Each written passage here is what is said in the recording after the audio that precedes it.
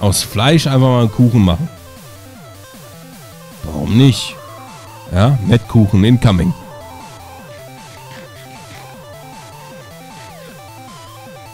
Ja, ja, ja, ja.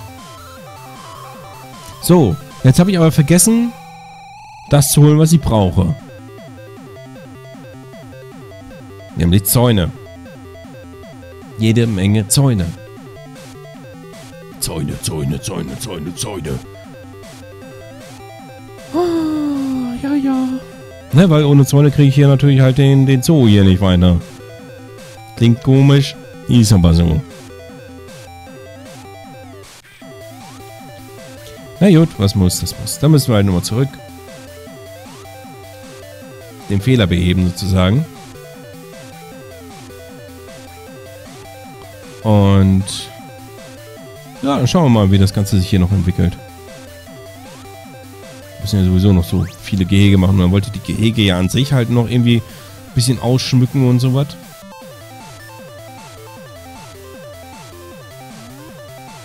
Ah, müssen wir einmal gucken, was für Tiere wir überhaupt hier rumpflanzen können.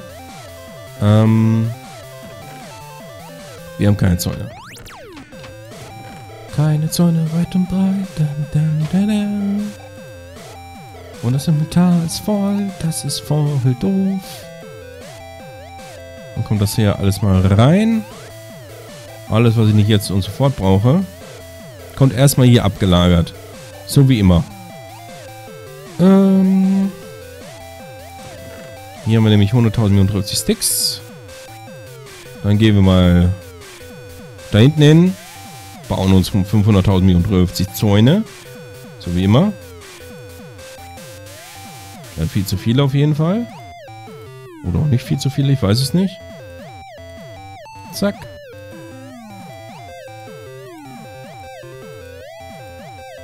Und zack. Also manchmal verstehe ich auch die Sortierfunktion dieses Spiels, manchmal nicht. Ja, obwohl halt hier quasi äh, Felder frei sind, packt das hier alles hin. So vollkommen willkürlich, so ein bisschen. Und da, ne, da lässt er einfach das Ding ins frei. Warum? Oder sortiert er von hier aus in die Richtung? Das kann natürlich sein. Ich habe eigentlich immer angenommen, er sortiert von hier aus dann. Aber nö. Einfach nur nö. So. Oh ja, so muss es sein. Okay. So, dann Stickety Stick Sticks des Todes Todes. Zack. Einfach noch mehr davon. Einfach immer mehr. Bis ich irgendwann denke so, ja, Zauntore wären auch nicht verkehrt. Machen wir hier das Inventar nochmal leer. Dass wir da 500.050 Zäune bekommen.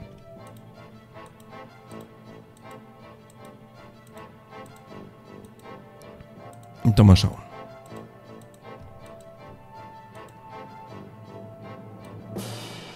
Machen wir so. Machen wir so. Ah, muss reichen erstmal. So. Und dann kümmern wir uns darum, dass wir tatsächlich aus dem Creative Mode halt die Tiere holen. Ich glaube, das ist jetzt nicht so verwerflich. Ne, wie auch immer wir den, den Zoo hier noch genauer gestalten. Wir müssen ja sowieso noch terraformen, damit hier dieser Bergabhang da hinten in der Richtung hier noch weiter nach unten geht. Weil es geht ja so nicht. Kannst du nicht machen. So. Machen wir mal ein paar Gehege hier hin. Kann sein, dass wir die halt bei Zeiten hier auch nochmal anders machen werden. Also vielleicht starten wir hier auch mit Streilzoo oder sowas. Ich weiß ja nicht. Ähm ich weiß es wirklich nicht. Artgerechte Tierhaltung wird es hier nicht geben. Ich sehe das schon kommen. Ähm, da, da, da. Am besten auch die Löwen neben den Rehkits. Weißt du?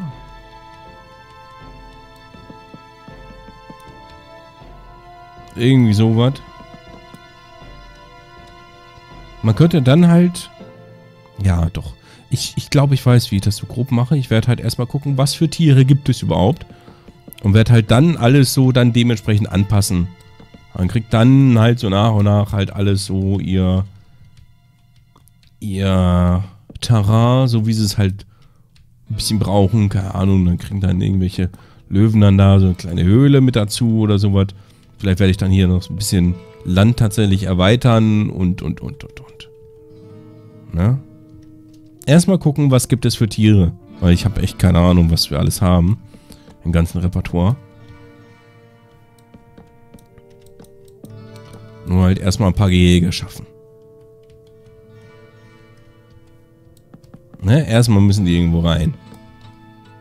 Und dann kann man gucken, wie das dann so weitergeht. Würde ich mal behaupten. Meine Zäune werden sowieso nicht reichen. Ja, gut verbaut Mammut. Wie ein typisches Mammut. So.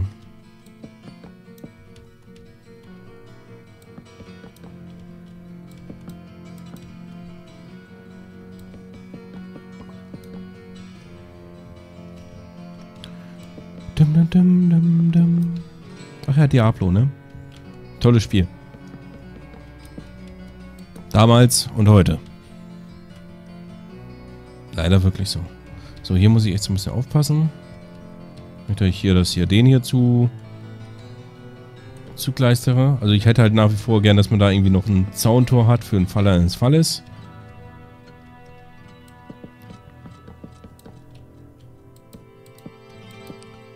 Und nachher funktioniert das alles gar nicht, weil irgendwelche Tiere sich durchbacken oder so. Ich sehe das schon kommen. Ich hoffe nicht, aber ich halte es im Bereich des Möglichen.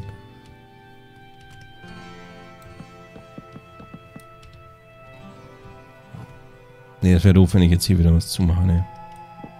Man will ja auch als, als Zoobesucher dann davor stehen und sagen so, oh, das ist ja schöne Tiere, das, oh, ganz fein. Ne? Ich meine, wir haben hier noch so viel Zooplatz. War schon immer so viele? Nee, okay. Da baut sich noch was auf. Ich dachte schon so, äh? Ist aber, ne? Ist aber. Wow, ist das?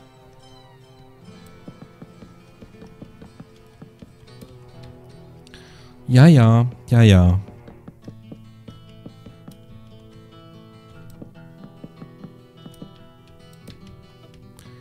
So.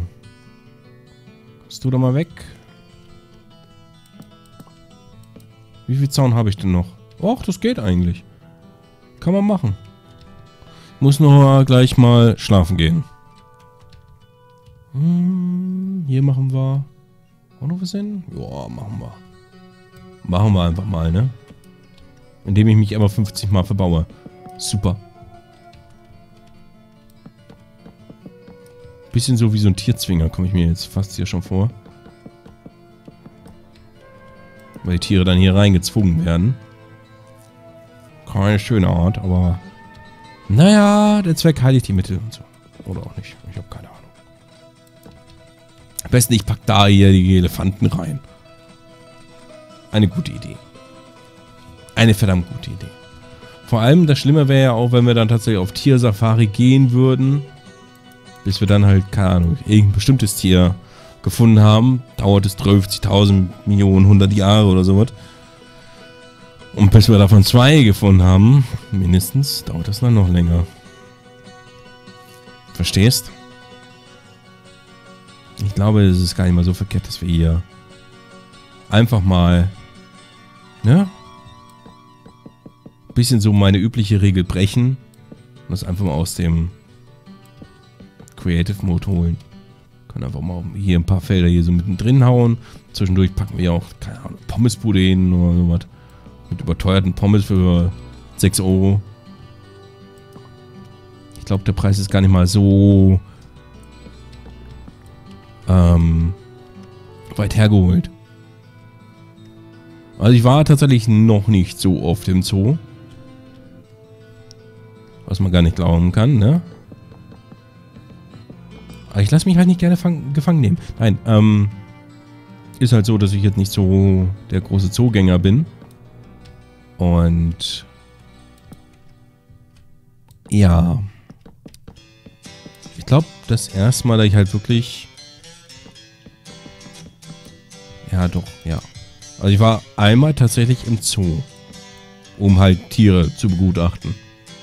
Und das war damals äh, in der Schule, in der ersten Klasse damals, ähm, mit dem krönenden Abschluss, dass ähm, nach der äh, Veranstaltung der Schule, wo man dann halt dann Richtung nach Hause geht und so was, ähm, sind wir dann halt zum Bus gegangen, war das, glaube ich. Ich weiß gar nicht mehr, war es Bus oder Bahn? Weiß ich gar nicht mehr. Jedenfalls sind wir halt auf den Rückweg gegangen und wir war halt dann so, so, ein Fußweg, wo es halt dann auch, ne, so links von mir war das, ne? Links oder rechts? Moment, muss ich kurz überlegen. Rechts von mir war das. Rechts von mir war es halt so, dass es halt da dann ein Stückchen schräg abwärts ging. Ähm, ich weiß gar nicht, wie das beschreiben soll. Es war halt so ein kleiner, ganz normaler Abhang, wo es dann schräg runterging. Ne? Nichts nix Gravierendes, nicht, kein Berg oder sowas, ne? Aber ähm, jedenfalls war es halt damals so, dass halt der Zooausflug geendet hat mit einem Bänderriss. Weil ich halt da dann abgerutscht bin, aus welchem Grund auch immer. Nee, ich bin gar nicht abgerutscht. Nee, das war an einer anderen Stelle. Genau. Nee, ich bin einfach mit dem Fuß umgeknickt. Genau, so war das. Oh Gott, ja. Ich weiß nicht, wie ich es geschafft habe. Einfach beim normalen Gehen, einfach mal mit dem Fuß umgeknickt. Zack, Wumms Bänderriss. Genau so war das.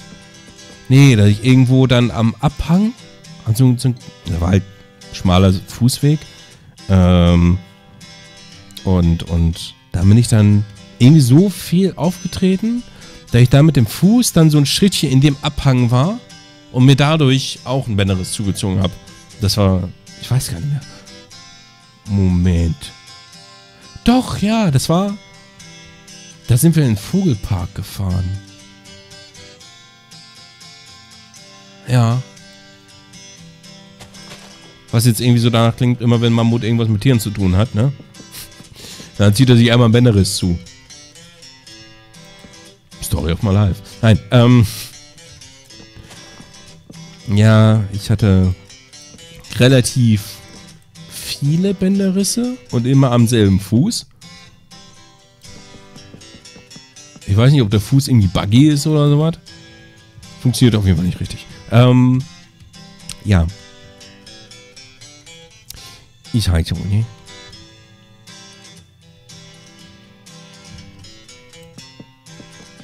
Ist schon, schon merkwürdig. Kann man nicht anders sagen.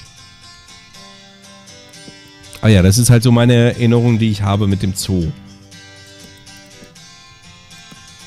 Bänderriss.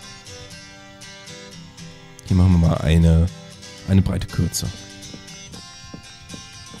Sonst wird mir das da zu eng als Zoobesucher. Jetzt mache ich hier viel zu viele Gehege und nachher gibt es gar nicht so viele Tiere.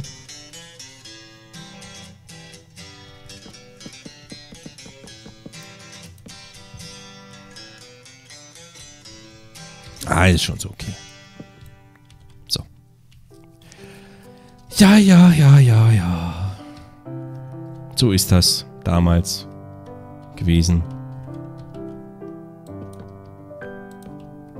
Das war tatsächlich mein einziger Zoobesuch. Und ich, nein, ich habe nicht Angst, irgendwie wieder in Zoo zu gehen und sowas. Wegen, äh, ich könnte ja einen weiteren Bänderriss bekommen. Na, also jetzt hier beim Weihnachtsessen mit der Firma waren wir halt auch im Zoo. Ne, manch einer ist nach Schlittschuh gelaufen und danach gab es halt noch äh, Essen und so was. Viel zu überteuertes Essen. Aber es war das geilste Schnitzel, das ich jemals gegessen habe, aber es hat mir 30 Euro gekostet. Aber es war das geilste Schnitzel, das ich je gegessen habe. Ungelogen. Ne? Und, äh, ja, also, das war jetzt nicht in Zoo gehen, um Tiere zu begutachten. Verstehst? Das war halt wieder andere Form des.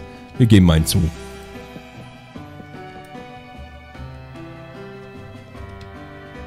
Hm. Da wird hier ein kleines Gehege draus. Mit einmal verbauen. Zauntore kommen später nochmal rein. Wie viel Zaun haben wir noch? Ach, das geht ja noch. Also ich hätte eigentlich gedacht, dass wir nicht so weit kommen. Hier, diese Wasserquelle kann hier ja auch weg. Dass hier die Fische raus sind. Ärgert mich ja so ein bisschen, ne? Dabei kann ich mich gar nicht entsinnen, dass das ähm, passiert ist aufgrund eines Serverwechsels, sondern ich glaube, das ist einfach so, dass die despawned sind oder sowas. Ich bin mir da aber auch nicht hundertprozentig sicher.